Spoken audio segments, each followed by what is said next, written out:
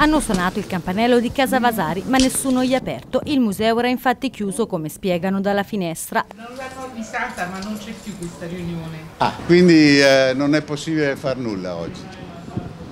Ah, beh, non avete autorizzazione. Bon. È andata così a vuoto la perizia per stimare il valore del prezioso carteggio dell'archivio Vasari, 31 filze che contengono anche le lettere di Michelangelo, per il quale è stato disposto l'esproprio. Questa mattina ad Arezzo era atteso infatti Filippo Daverio, noto critico d'arte ed individuato dal giudice Antonio Picardi come super esperto, che però non è mai arrivato. Si è accesa così la protesta del perito di parte della famiglia Fessari, il professor Renato Saggiori e del loro legale che ha annunciato un ricorso e la denuncia ai carabinieri.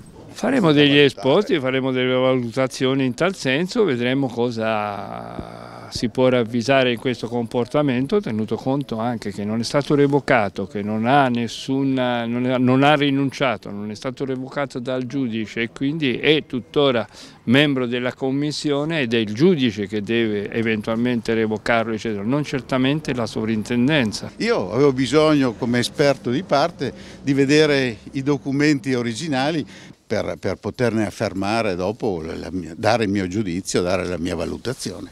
Questo, questa cosa qua eh, mi ha reso impossibile e questo bisogna prendere atto della situazione e cercare di capire perché le cose vanno in questo senso. Lo Stato non fa altro che deve preservare le cose, questo ne sono perfettamente d'accordo, ma deve rispettare anche quello che sono i diritti dei proprietari. Assente questa mattina anche il perito della soprintendenza che ha comunicato comunque di aver svolto la propria perizia e di aver inviato una relazione scritta al Tribunale di Arezzo. Resta ancora dunque da stabilire il prezzo dell'indennizzo che lo Stato dovrà versare ai fratelli Festari per le carte Vasari. Il decreto di esproprio parlava di un milione e mezzo di euro, una cifra ritenuta irrisoria dagli eredi che dieci anni fa avevano ricevuto un'offerta da un magnate russo di oltre 100 milioni.